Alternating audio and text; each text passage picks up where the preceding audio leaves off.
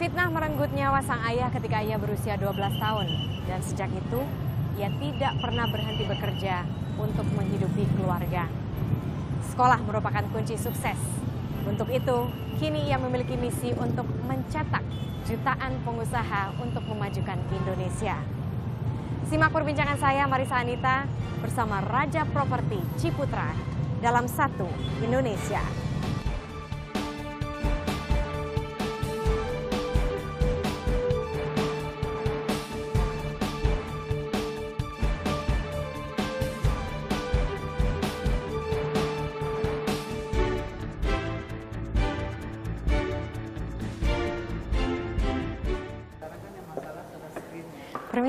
Selamat sore Pak Ci. Halo, saya Marisa dari Net Satu Indonesia. Kabar? Baik, halo Ibu, apa kabar? Saya ya, Marisa. Ya, senang ketemu Anda. Iya, terima kasih sudah boleh mampir ke Ciputra Artpreneur Center di sini. Ya. Kalau misalnya saya lihat, dari tadi saya muter-muter Pak Ci, ini kayaknya banyak sekali hasil karya dari Hendra Gunawan. Memang seberapa khusus hubungan Pak Ci dengan Hendra Gunawan saat itu? Memang ada cerita yang menarik. Hmm. Uh, pertama saya melihat lukisan di keluarga saya. Satu, aduh hebat benar lukisan. Dan jatuh cinta pandangan pertama ceritanya. Dia keluar, dia waktu itu dia di penjara. Nah ini cerita yang menarik ini. Dia keluar dari penjara. Keluar dari penjara, dia ketemu saya. Ketemu saya, bilang Pak Ciputra, tahu nggak saya keluar dari penjara yang tempat saya pergi pertama kali adalah pasar seni Ancol. Saya lihat pasar seni begitu banyak seniman yang melukis, pengunjung yang datang membeli. Sedangkan pada waktu saya dahulu, saya dahulu, saya harus melukis, saya harus keliling dari rumah ke rumah, dari toko ke toko untuk menjual lukisan. Kadang-kadang dia bilang saya dikejar oleh anjing. Persahabatannya mulainya dari situ. Mulai itu, mulai itu.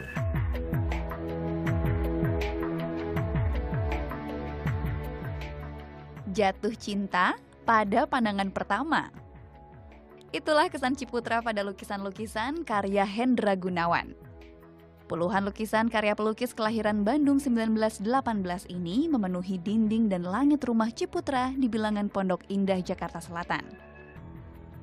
Di dunia seni rupa Indonesia, Hendra Gunawan seangkatan dengan Basuki Abdullah, Sujoyono, dan Avandi. Sebagai pelukis, Hendra besar di Sanggar Pelukis Rakyat dan Persatuan Ahli Gambar Indonesia. Ekspresi goresan cat tebal dan warna kontras yang berani merupakan ciri khas Hendra Gunawan. Lukisan Hendra juga kerap menampilkan wajah masyarakat pedesaan, termasuk suasana perjuangan di masa revolusi. Pelukis Indonesia yang lukisan-lukisannya uh, dalam peta medan sosial seni rupa Indonesia sangat penting karena lukisan-lukisan Hendra Gunawan maupun sikap Hendra Gunawan terhadap uh, situasi dan kondisi serta konteks uh, Indonesia itu muncul dalam seni lukisnya. Sehingga karya Hendra Gunawan itu di tengah-tengah situasi Indonesia seperti itu muncul uh, seni lukis yang puitik, yang romantik dan ekspresif menyampaikan situasi Indonesia.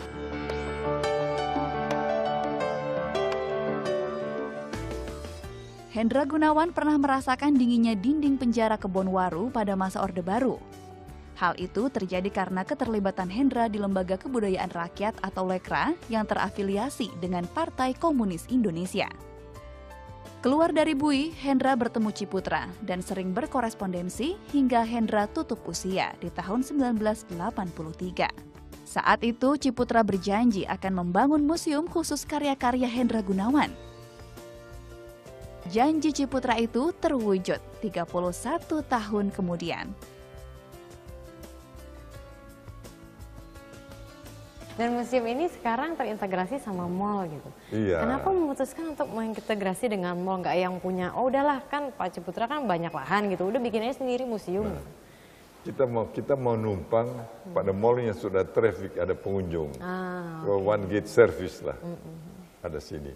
Anda lihat, walaupun mungkin kan sepi orang pengunjung, justru itulah mendorong saya hmm. untuk membangun supaya bagaimana menarik perhatian orang Indonesia akan kegiatan seni budaya Indonesia. Eh, Pak Ciputra itu kan apa ya pendiri dari Ciputra Group yang memang terkenal gitu eh, dengan usaha real estate, kemudian usaha mall juga banyak. Nah ketika eh, baru belakangan ini pemprov DKI gitu ya khususnya Pak mengeluarkan moratorium mall, apa tanggapan anda saat itu?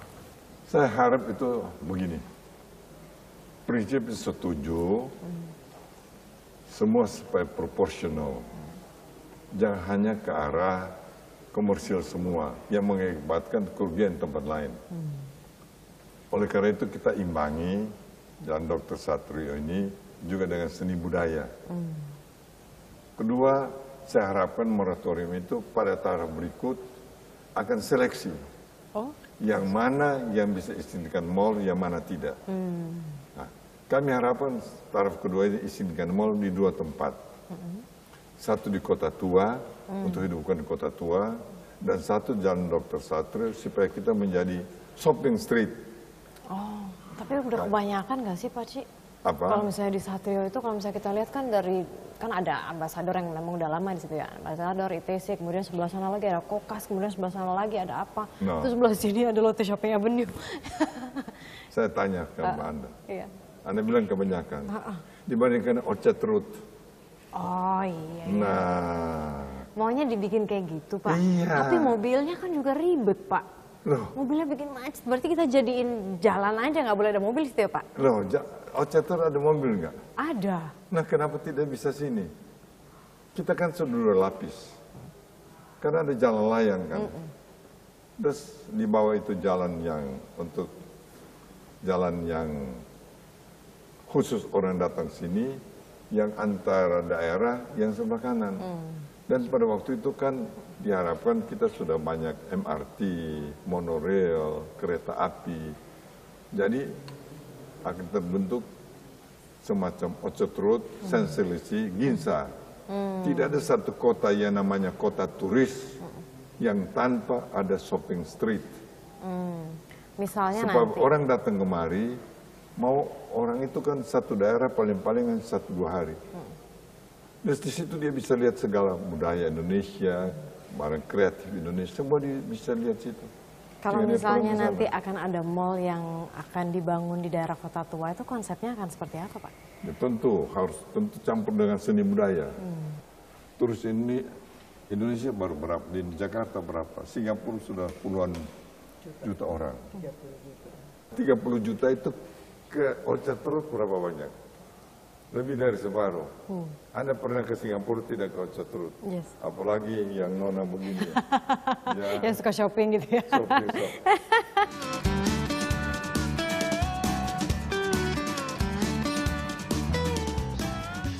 Bisnis properti berkembang bak jamur di Indonesia. Ciputra salah satu pemainnya. Taipan satu ini memulainya sebagai pengembang di bawah payung PT Pembangunan Jaya dan Metropolitan Group. Tahun 1981 ia mendirikan Ciputra Group.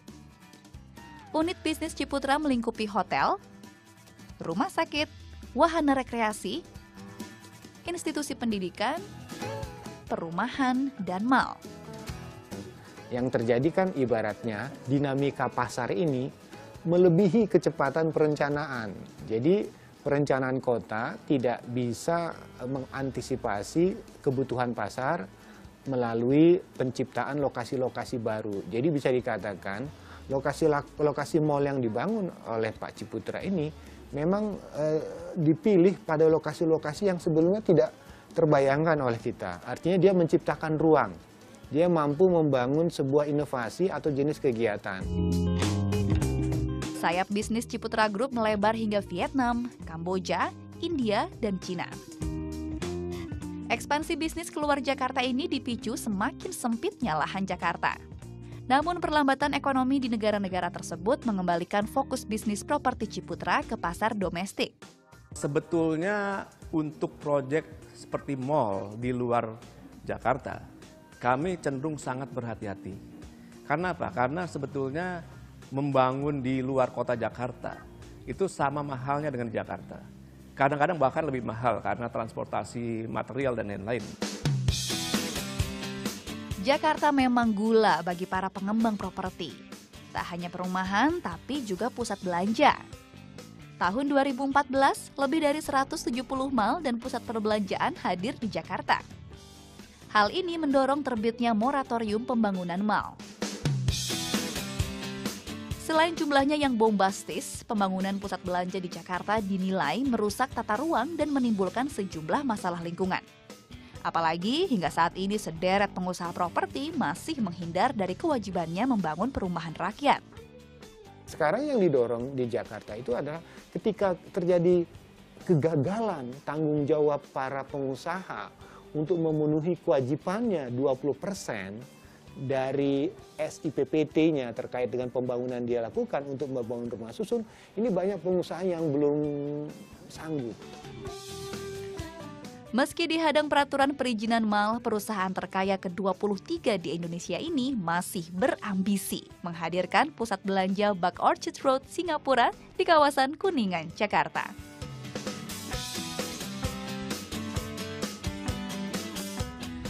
Tugas perumahan rakyat, tugas siapa? Pemerintah. Nah, betul.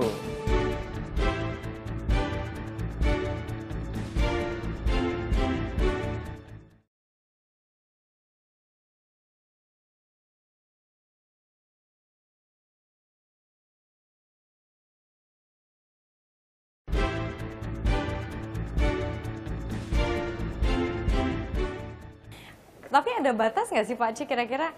Tapi kayaknya kalau misalnya kita orang Jakarta gitu ya, ya ampun Pak dari Jakarta Timur, Utara, Barat, Betul. Pusat, semuanya tuh penuh mall gitu. Ada nggak sih Pak batasan di mana ini kayaknya udah cukup nih kalau nggak overload jadinya gitu loh Pak?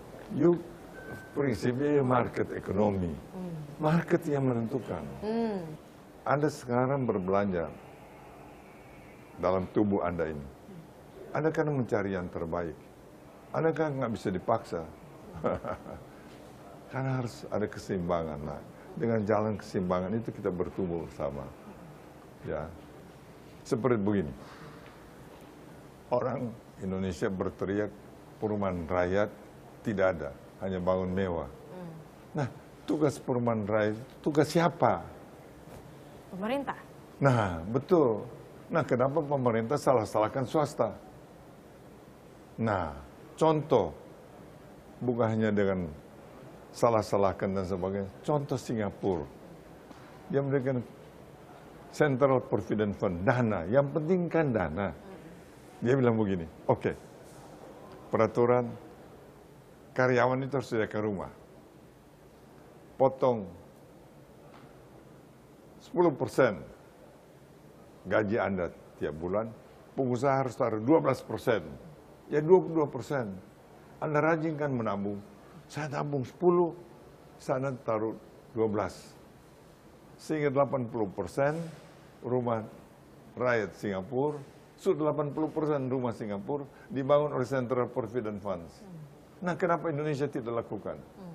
Kita hanya menyalahkan developer. Selama ini pernah nggak Pak mengatakan bahwa ini loh sebetulnya strateginya kayak gini gitu?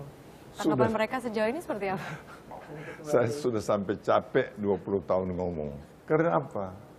Karena menteri-menteri kita masih kurang entrepreneurship. Tapi Pak Cik kan udah berhasil waktu itu berusaha untuk menggait eh, Pak SBY untuk memasukkan di kurikulum entrepreneurship. Ah, pendidikan. betul. Nah, itu sampai situ saja.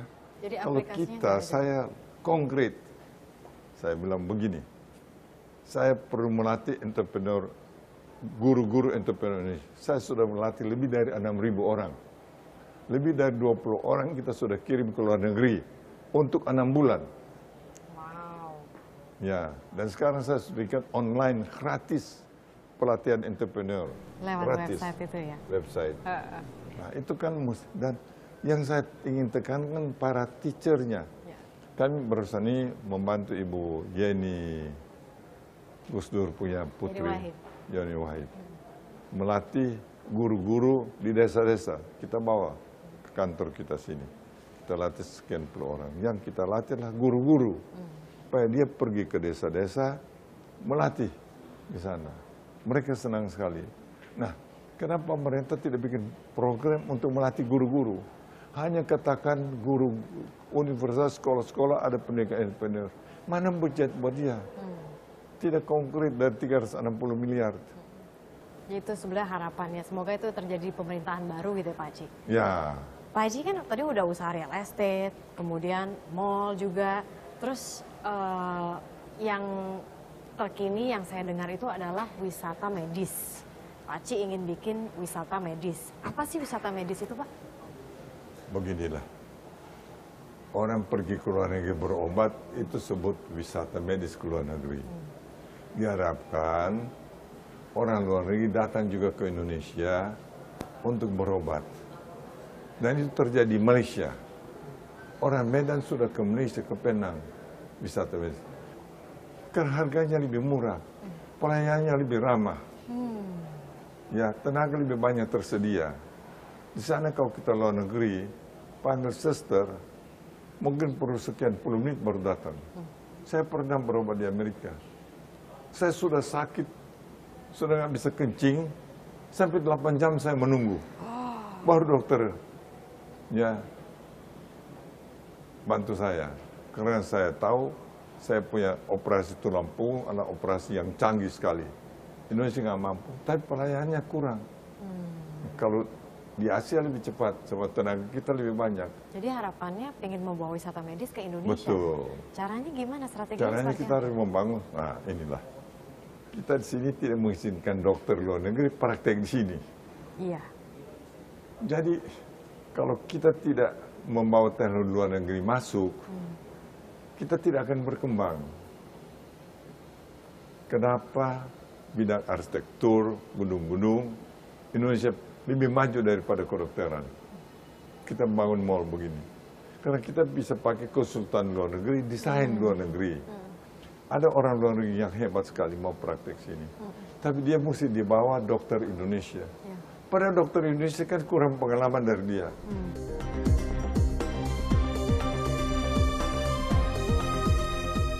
Ya kayaknya semuanya nggak ada deh. Hmm, mungkin Bob Sadino kali ya. Pengusaha yang jujur, em, kayaknya nggak ada ya. Yang sepertinya jujur adalah eh, Pak Hairul Tanjung dan eh, Pak Ciputra.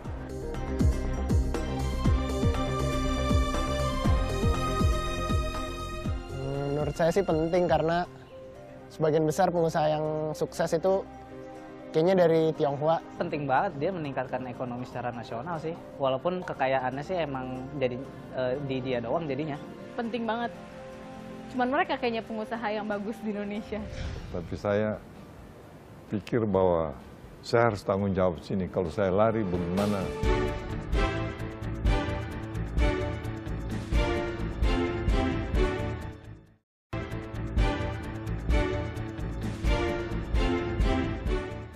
Pak Ci itu dari kecil emang sudah cita-cita jadi pengembang atau gimana Pak?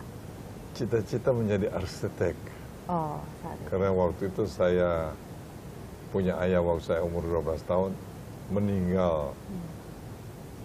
Tiba-tiba karena dituduh waktu itu mata-mata Belanda oleh pemerintah Jepang ditangkap, dia mati di penjara.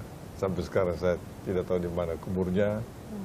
Waktu saya pikir bahwa saya mengatasi keberatan keluarga adalah hanya bersekolah. Saya putuskan waktu saya umur 12 tahun saya teruskan sekolah saya di sekolah dasar, kemudian SMP, SMA, dan kemudian ke masuk ITB Bandung, sekolah arsitek. So, waktu itu saya sudah merasa punya bakat sebagai pembangun. Benarkah ketika Bapak kuliah itu Bapak termasuk eh, mahasiswa yang vokal dalam apa ya? eh, Kadang-kadang tuh suka ngeyel gitu bahkan sama dosen-dosen. Kalau misalnya nggak setuju ya diekspresikan gitu. Benar nggak sih Pak? Ya, itu itu benar. Dan saya namanya aktif lah Heeh. dalam bidang yang saya tahu saya aktif sekali. Jadi kalau ada profesor salah saya sampaikan. Saya pernah seorang profesor melakukan kuliah. Pada ujung kuliah saya mengatakan bahwa tadi yang profesor sampaikan itu tidak tepat, ada salah. Dia terkejut. Waktu itu dia nggak bisa menjawab, dia bilang, dia mikir, Dia sudah merasa salah, tapi dia ingin cek lagi. Dia lantas minggu depan dia mengakui salah, dia salah. Oh ya? Iya, Pada zaman itu? iya. Wow. Cuma saya di bahasa lemah sekali. Oh gitu. Bahasa saya lemah sekali. Uh, Tapi saya hanya kuat di ilmu matematika, ilmu alam. siapa orang paling berpengaruh dalam hidup Pak Ci? Yang membuat Pak Ci seperti ini? Tentu pertama orang tua saya, Hmm. papa dan mama saya. Mama saya sangat rajin, ayah saya sangat bijaksana. Pernahkah dalam hidup Pak Ci gitu selama 83 tahun, Pak Ci kan begitu sukses, sangat sukses. Pernahkah ada momen di mana apa ya, Pak Ci itu merasa kayak jatuh? Frustrasi. Iya frustrasi, kayak Pertama waktu saya umur 12 tahun, ayah saya ditangkap tidak dengan jauh wajar, diseret dari rumah kami, dinaikkan ke perahu dari Gorontalo dibawa ke Manado. Itu adalah pertemuan saya yang terakhir. Dia di kapal begitu, di- dia ada kapal tengah laut di tepi pantai, dia naik perahu kecil, dia menghadap kepada kita, dia seperti angkat dengan takut juga, diangkat begini mengatakan kamu jaga kamu dan mama jaga yang baik. So, mungkin saya tidak kembali. Benar. Sembilan bulan kemudian teman-temannya yang ditangkap ke turun mata-mata kembali bercerita bahwa tiga bulan yang lalu ayah kamu meninggal. Dan pada waktu itu malam dibawa dari kapal dari perahu ke kapal di kapal waktu berangkat dia cebur ke laut. So dia ingin membunuh diri. Hmm, so dia tahu bahwa tentara atau polisi Jepang Kempetai akan menyiksa orang kalau dianggap bersalah apalagi mata-mata. Dan lebih baik membunuh diri. Nah tapi mereka angkat dia dari air kepalanya di ke bawah kaki di atas untuk keluar air tapi dia masih hidup. Dan dia berkata saya ini sudah mau bunuh diri. Saya tahu saya akan mati. Tapi ternyata Tuhan itu ada. Nah cerita begini yang bikin saya berkesan. Nah kemudian Christian itu krisis 98 wah itu luar biasa itu krisis 98 seolah kayak tsunami lah. Buat saya itu kayak tsunami semua hutang begitu banyak nggak bisa dibayar rumah nggak bisa dijual kontraktor setengah jalan tinggalkan pekerjaan karena kita nggak bayar jadi betul-betul gelap gulita lah saat itu kan banyak pengusaha yang akhirnya keluar negeri, tapi Pak Ci tetap di Indonesia. Iya. Apa alasannya? memang ada teman saya istrinya dokter ya dia berlaku orang sakit istrinya naik ambulans bawa dia ke airport berangkat ke Singapura tapi saya pikir bahwa saya harus tanggung jawab sini kalau saya lari bagaimana eh, banker mau percaya kepada perusahaan saya lagi bagaimana karyawan saya percaya saya lagi bagaimana hutang-hutangnya jadi dan saya tetap percaya bahwa Tuhan itu masih ada. Hmm. Pak Ci kan sebagai orang nomor satu ya di eh, Ciputra Group gitu. Biasanya kalau misalnya menjadi orang nomor satu tuh kan tanggung jawabnya besar sekali Pak. Betul. Bagaimana Bapak bisa menyeimbangi kehidupan gitu, pekerjaan dan juga keluarga? Nah, memang itu selalu saya keseimbangan antara keluarga, ya bisnis dan sosial kita. Hmm. Biasanya kalau misalnya dengan keluarga aktivitasnya apa Pak untuk menjaga keseimbangan itu? Kalau waktu anak-anak masih kecil, Ya. kalau hari Minggu saya pergi bermain golf dengan mereka. Hmm. Ya, kalau ke luar negeri selalu saya ajak istri saya, anak-anak saya. Dan saya harus sambil bekerja saya itu berlibur dengan mereka. Seberapa penting keluarga dalam hidup Anda? Oh itu nomor satu, Nomor satu. nomor satu, keluarga nomor satu. Tak ada kata menyerah. Yang ada hanya belajar, berpikir, dan mencoba kembali. Itulah moto hidup entrepreneur atau usahawan sejati Ciputra. Meski kini menyandang status konglomerat, kisah hidup lelaki bernama asli Cicin Huan ini penuh kisah getir. Usia 12 tahun, Ciputra kehilangan ayahnya. Tentara pendudukan Jepang menuduh dan menangkap Cisimpu hingga meninggal dalam penjara. Sejak kecil, Ciputra terbiasa hidup mandiri. Setiap hari dia berjalan kaki sejauh 7 km menuju sekolahnya. Kegiatan sehari-hari Ciputra dan kedua kakaknya sepulang sekolah adalah membantu sang ibu membuat kue untuk dijual. Kerja keras Ciputra terbayar. Tahun 1953 ia diterima berkuliah di Institut Teknologi Bandung jurusan arsitektur. Beberapa tahun kemudian Ciputra menikahi perempuan pilihannya Dian Sumeler. Dulu tuh kita masih sekolah. Saya di sekolah tempat lain, bawa tempat lain. Di, di Manado. Berkenalan. Karena ketabrak sepeda. Malam-malam. Sana tuh gelap. Nggak busuk. Terang kayak Jakarta. Ciputra dan istrinya banting tulang menjalani hidup. 30 tahun masa awal pernikahan mereka dijalani dengan berpindah-pindah tempat tinggal. Waktu saya di Bandung saya sering diajak ke alun-alun dan itu tiap minggu ke alun-alun. Kalau ke sana ya makan tahu goreng sama mungkin ada martabak itu sudah merupakan satu kemewahan. Uh, waktu pindah ke Jakarta juga hiburan paling-paling ya mungkin jalan-jalan ke Pasar Cikini sudah merupakan satu hiburan. Ke Pasar Baru sudah hiburan lain. Waktu itu Ancol belum ada kebetulan. Di masa Orde Baru, bisnis properti Ciputra menggeliat. Tahun 1983, Ciputra akhirnya bisa menempati janjinya kepada sang istri membuatkan rumah yang besar. Di atas lahan 8 hektar di kawasan Pondok Indah, Jakarta Selatan, Ciputra membangun rumah berhiaskan 50 patung tembaga. Pertama di Losmen, Angkatan Laut, di depan UI. Baru pindah ke rumah bedeng. Ada rumah tapi dari kayu. Bapak janji sesuatu di komitmen. Hmm. Kalau saya mengeluh, wah rumahnya kecil begini. Bapak bilang satu kali kamu akan tinggal di rumah yang besar. Terjangan krisis moneter tahun 1998 menghempas bisnis properti Ciputra. Nilai tukar rupiah terhadap dolar Amerika mencapai Rp17.000, menenggelamkan Ciputra dalam tumpukan hutang. Taipan pengkolektor lukisan ini terpaksa merumahkan 3.000 karyawannya.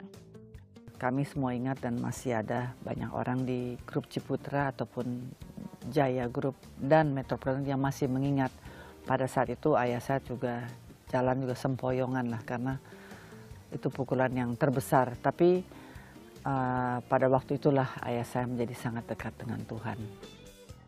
Jatuh dan bangkit kembali. Melalui kebijakan pemberian potongan bunga kepada nasabah, Ciputra berhasil merestrukturisasi utang-utangnya. Ia pun bisa kembali menata usaha propertinya. Pak Ciputra memang terkenal sebagai tokoh visionaris, melihat jauh ke depan uh, apa yang akan terjadi. Ini kan sudah dibuktikan dengan beberapa proyek Ancol, Pondok Indah, Bintaro, Kapuk, Bumi Serpong Damai. Ya, jadi menjadi uh, anak yang orang banyak bilang bukan properti memang banyak sekali keuntungan.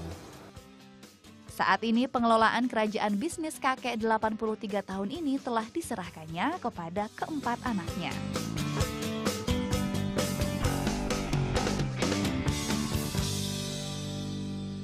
Olahraganya Pak Ci apa sih? Sekarang saya berenang tiap pagi, malam hari saya tai chi. Oh, ya, tiap hari? Tiap hari. Wow. Tiap hari. Nice. Kenapa memilih tai chi? Tai chi karena sangat praktis dan untuk orang tua tidak berat. Hmm. Kalau anak muda kan perlu otot. Hmm. Ini saya kan ototnya sudah kurang. ya. Jadi Seperti untuk makan. Uh. Makan saya makan, makan di hotel, saya bawa dari rumah. Ya. Oh iya? ya. Saya pergi ke restoran untuk sosial. Tapi sayurnya dari rumah. Sampai segitunya Pak? Daging dan apa, ya. Daging dan ikan yang saya makan dari restoran. Dan saya bawa uh, apa skill skill apa timbangan uh. untuk saya berapa gram wow saya sampai segitunya yeah. pak yeah. koki koki spesial di rumah atau enggak ada koki oh ada ya serembok lah tapi zaman dulu nih pak zaman dulu itu ceritanya bisa ketemu sama Ibu Dian, terus langsung nikah pada zaman kuliah itu seperti apa? Kemudian pertama kita pacaran di Manado. Hmm. Saya punya beberapa teman wanita, tapi tidak serius. Oh. Sudah saya ketemu istri saya, saya bilang ini cocok. Buat saya serius, saya datang ke Bandung, Nah, dia kita korespondensi, dia putuskan dia mau ikut saya. Apa yang membuat Pak Ci itu memutuskan ini dari sekian banyak, kayaknya ini deh yang akan saya nikahi. Apa sih pada saat itu yang membuat Pak Ci memutuskan itu? Kalau cinta itu susah diterangkan. Kalau cinta Iya. sudah bersemi, terima saja. Baik, anak-anak eh, bisa dibilang hadiah bagi orang tua. Betul. Apa hadiah terbaik dari anak-anak untuk Pak Ci selama ini? Kalau mereka bisa sukses dalam hidup mereka, itu hadiah terbesar buat saya. Hmm. Anda setuju? Setuju. Itu hadiah terbesar. kan bisnis itu kan ada bisnis bisnis keluarga ya misalnya seperti Ciputra ini kan semuanya rata-rata dipegang oleh anak-anak turunan Ciputra gitu nah tiga generasi ini telah menjalankan bisnis eh, Pak Ci yang Pak Ci gagas dan bangun bisnis keluarga ini biasanya memiliki sistem namun ada juga kekurangannya gitu Pak di mana ya ini kan bisnis keluarga jadi tiba-tiba aturan tuh ya sesuai keinginan keluarga saat itu gitu tapi ada nggak sih Pak Ci tips supaya bisnis keluarga ini bisa berjalan secara profesional dan sukses. Betul. Nah, saya punya dua anak perempuan, nomor satu. Kemudian nomor tiga, nomor empat lelaki. Kita bikin subholding. Hmm. Subholding A, B, C, D. Mm-mm. Semua bidang dalam properti. Tapi saham crossing. Semua memiliki saham yang sama. Hmm. Masing-masing mereka 15 persen, Hmm. saya 15 persen, saya 25 persen. Hmm. Nah, Anda lihat, saya 25 persen, anak saya mereka 15 persen. Kalau mereka bersatu 60 persen, Hmm. mereka bisa pecat saya. Wih, Ya, dan itu saya sengaja.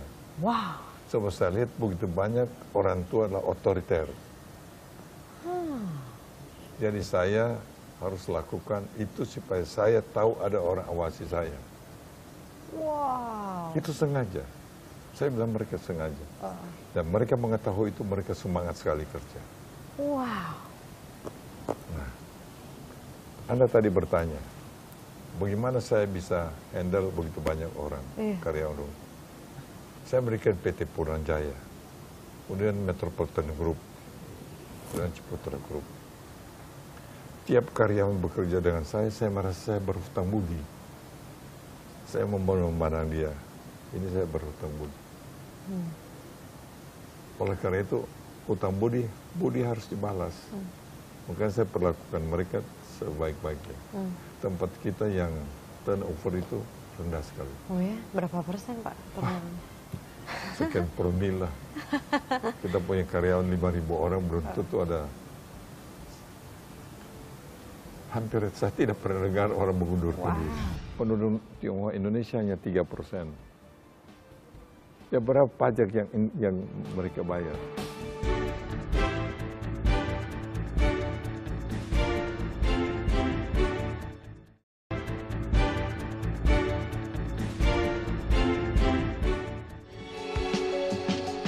Dalam menjalankan usahanya, Ciputra melewati tiga zaman dalam pembabakan politik Indonesia.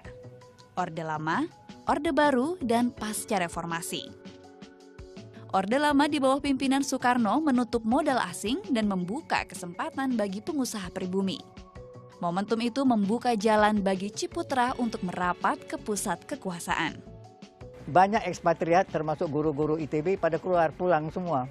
Sedangkan kami waktu itu kita tamat ITB. Jadi Bung Karno kan arsitek juga. Dan Bung Karno punya ini kan mercu, gedung-gedung mercusuar semua kan. Nah untuk itu mencari insinyur arsitek kan sudah nggak ada susah lah. Kami pun selesai ITB. Nah kami sebentar-sebentar dipanggil ke istana. Tahun 1960-an, Ciputra bersama dua rekan kuliahnya mendirikan kantor bernama Perencanaan Jaya. Di bawah payung perusahaan ini, Ciputra mendapatkan proyek pertamanya, pembangunan pusat belanja Sarinah di Jakarta.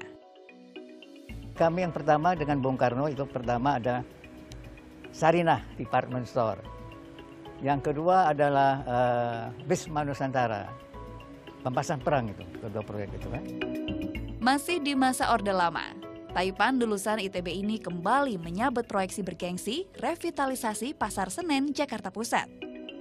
Kali ini di bawah payung perusahaan Pembangunan Jaya yang dibangunnya bersama Sumarno Sosro Atmojo, Gubernur DKI kala itu. Hubungan harmonis Ciputra dan penguasa berlanjut, meski pemerintahan berganti di bawah Soeharto. Tahun 1967, Ciputra kembali mendapat proyek bergengsi pembangunan Taman Hiburan Ancol di utara Jakarta. Proyek ini jatuh ke tangan Ciputra setelah meyakinkan Gubernur Jakarta kala itu, Ali Sadikin, dengan sebuah konsep taman hiburan kreatif.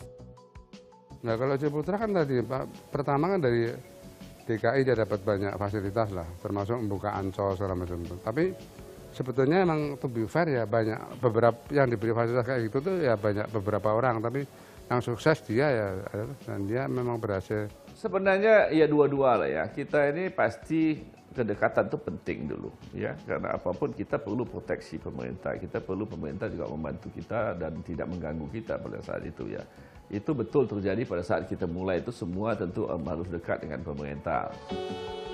Bisnis Ciputra terus menggurita.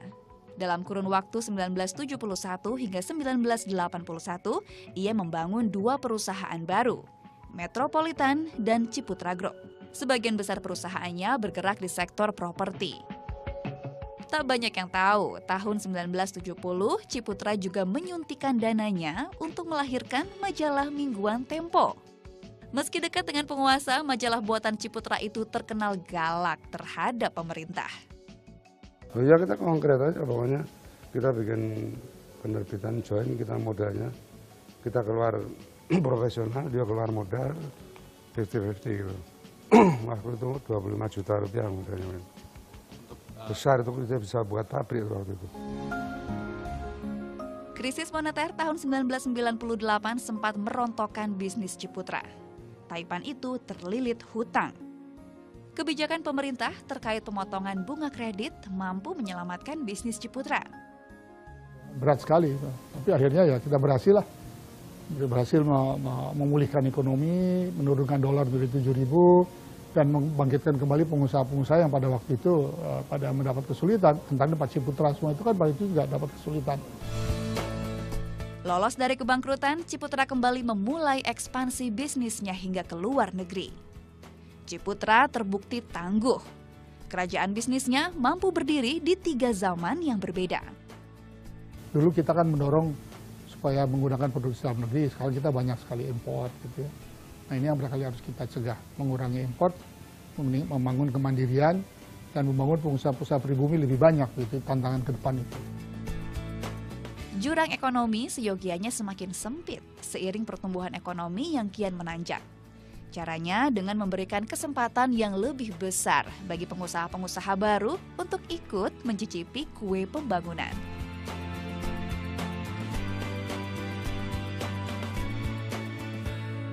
Pak Haji ini kan dikenal sebagai uh, pengusaha yang sudah uh, eksis di Indonesia beberapa periode. Orde lama juga pernah merasakan, Orde baru pernah merasakan, sekarang pemerintahannya sekarang pasca reformasi juga merasakan tentunya. Ada nggak sih Pak eh, perbedaan mendasar iklim berbisnis dari masing-masing era? Ya tentu, waktu itu kan zaman Bung Karno kan masih belajar. Hmm. Cuman tertekankan pada nasionalisme. Hmm. Ya, sebagai bangsa masih merdeka. Kemudian zaman Pak Harto, itu adalah uh, terpimpin. Kemudian kemudian Pak Habibie, kemudian uh, Gus Dur, Ibu Mega, SBY, dan makin demokrasi. Ada orang yang mengatakan, wah Saman, Pak Harto paling baik. Iya. Pak Harto bicara, saya tidak. Saman demokrasi adalah yang paling baik. Oh ya? Karena suara rakyat, suara rakyat bisa berbicara. Saya senang sekali dengan Saman sekarang bukankah akan apa ya saya terbayangnya begini sih Pak kalau zaman Soeharto dulu itu kan semuanya satu pintu gitu akan jauh lebih mudah lah apa-apa. Kalau sekarang kan kayaknya harus yang ribet dulu birokrasinya. Saya kebayangnya sih akan lebih ribet gitu. Bukannya secara bisnis akan lebih menguntungkan di zaman dulu di mana udah satu pintu, udah jelas begini uh, prosedurnya harus jalani, ya udah begitu. Tapi begitu banyak kan orang merasa dilangkahi kan. Maksudnya dilangkahi Pak? Bahwa misalnya hak dia dilangkahi. Pernahkah itu terjadi pada zaman Soeharto kepada Ciputra? Saya tidak. Hmm. Tapi saya pernah diperlakukan oleh seorang yang dekat Pak Harto, Hmm. saya hak saya dihina-hina oleh dia. Wow. Saya Atas dasar alasan apa saat itu? Karena dia merasa berkuasa. Kedekatan dengan pemerintah sebagai seorang pengusaha itu tapi penting kan Pak? Kayak seperti misalnya proyek Ancol gitu ya. Itu kan salah Anda di belakang proyek Ancol yang sekarang menjadi taman hiburan bagi masyarakat di Jakarta atau masyarakat di luar Jakarta gitu. Itu kan karena ada hubungan yang baik antara pengusaha dengan pemerintah. Betul demikian Pak? Nomor satu prestasi Anda. Anda dipakai. Saya berutang budi kepada DKI. Pak, Marno, Pak Ali sedikit. Tapi kalau saya tidak punya prestasi, tentu mereka tidak pakai saya. Nah, siapa lebih untung? Dia atau saya? Sukar dinilai. Tapi pasti Ancol itu sekarang milik pemerintah DKI 80 persen Hmm. dipotong. Zaman dulu memang awalnya seperti apa Pak? Berapa persen, berapa persen? Dulu milik DKI 100 persen, tapi nggak Hmm. jalan. Hmm. Serahkan sama saya. Hmm. DKI 80 persen, saya 20 persen. Dan Untuk- saya 20 persen pun masuk Ponojaya yang DKI miliki 40 persen. Hmm. Jadi yang memanage sekarang itu masih Ciputra atau sudah fully Oh sudah, public company. Direksi Sudah. diangkat bersama. Taman Impian Jaya Ancol, salah satu proyek bombastis pengusaha asal Gorontalo ini. Ancol pula yang menjadi pintu gerbang kesuksesan bisnis Ciputra. Proyek Ancol lahir dari pemikiran Bapak Bangsa Soekarno. Proklamator RI ini berambisi menghadirkan pusat plesir sekelas Disneyland di Jakarta. Waktu itu Soekarno bilang buatlah satu tempat di mana orang bisa mendengar germi apa debur ombak, bisa merasakan eh, air melintas eh, air laut melintas di kakinya, dia menapak eh, apa eh, pasir pantai begitu. Dan bagi Soekarno sekali lagi katanya kepada Sumarno, oh kita tuh harus punya kesadaran eh, yang kuat untuk melakukan proyek pembangunan yang seperti itu. Proyek pembangunan yang bukan hanya sifatnya rekreatif tapi juga dia mendidik. Karena Jakarta di mana gubernurnya adalah Sumarno itu adalah wajah muka Indonesia.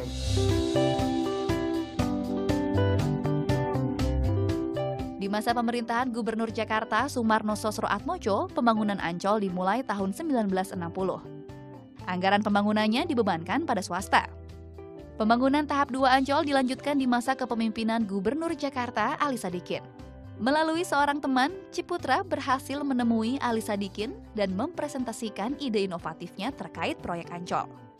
Bergandeng tangan dengan Ciputra, pemerintah DKI berhasil mewujudkan pusat rekreasi Ancol tahun 1972. Ya Ancol kemudian menjadi tempat yang sangat istimewa ya. Setiap, setiap orang berpikir tentang eh, rekreasi laut begitu ya, mereka akan langsung di kepalanya itu muncul eh, bayangan tentang Ancol begitu ya. Sejak tahun 1992, 80% saham Taman Impian Jaya Ancol menjadi milik pemerintah Provinsi DKI Jakarta. Tahun 2004, Ancol menawarkan 10% sahamnya kepada publik. Kalau dari sisi pengelolaan tentunya Go Public lebih diharapkan lebih akan profesionalan menjadi nomor satu. Karena e, banyak saham pem, e, publik yang akan mengontrol jalannya or, or, organisasi perusahaan. Jadi kalau ditanya lebih baik mana, ya tentunya lebih baik yang perusahaan TBK. Lebih dari 40 tahun berdiri, Taman Impian Jaya Ancol terus membangun.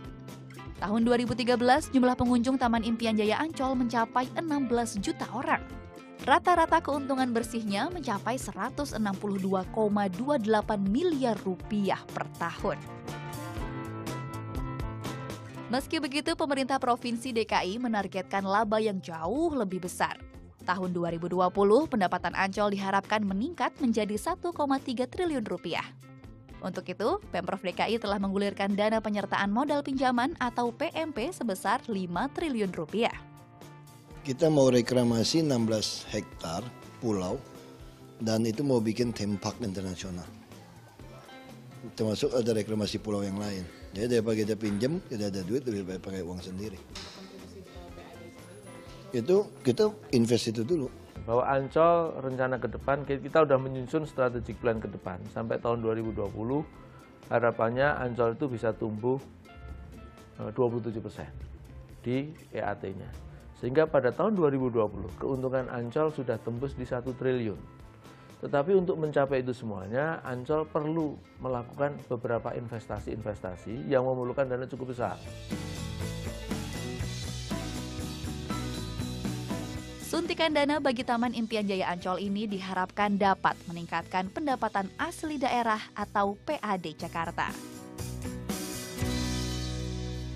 Bisa dikatakan nggak Pak kalau misalnya Ciputra Group gitu ya, itu besar ketika di zaman Orde Baru? Saya tidak, saya tidak menganggap demikian. Tidak menganggap demikian. Ciputra Group berdiri kira-kira 30 tahun. Lantas jatuh pada tahun 98, 15 tahun yang lalu. Nol, kita bangkit. Sudah zaman apa? Sudah zaman reformasi kan. Apa sih sebetulnya tantangan memanage uh, sebuah badan atau sebuah institusi atau sebuah perusahaan dengan pemerintah? Apa biasanya tantangannya? Itu birokrasi. Hmm. Ada kelanya begini dah. Waktu saya DKI, yang paling pusing saya satu. Kalau gubernur sudah setuju, kita masih harus bertanggungjawabkan kepada DPR. Hmm. Itu yang betul-betul pusing. Sehingga kita seolah punya dua kepala, punya dua partner. Kita ingin para partner itu berunding dulu, Antara. baru kita hadapi. Hmm. Tapi itu bagian daripada demokrasi. Jadi kita atasi dengan senang hati. Sekarang kan di Indonesia sudah mulai masuk lagi nih Pak, uh, apa uh, etnis Tionghoa gitu ya, warga Indonesia etnis Tionghoa, misalnya seperti Basuki Cahayapurnama gitu yang sekarang sebentar lagi akan menjadi uh, Gubernur DKI Jakarta. Apa tanggapan uh, Pak Ci tentang kembalinya uh, warga etnis Tionghoa menempati posisi-posisi penting? Itu keputusan terbaik yang pemerintah DPRD bisa lakukan. Pemerintah Gus Dur. Makanya warga negara Tionghoa ini sangat berterima kasih kepada Gus Dur. Mereka mereka idola idola mereka, tapi seharusnya itu bukan kepentingan mereka. Kepentingan semua bangsa. Anda lihat, yang saya sedih, maka saya ingin dari 40-50 perusahaan pabrik dalam bidang properti.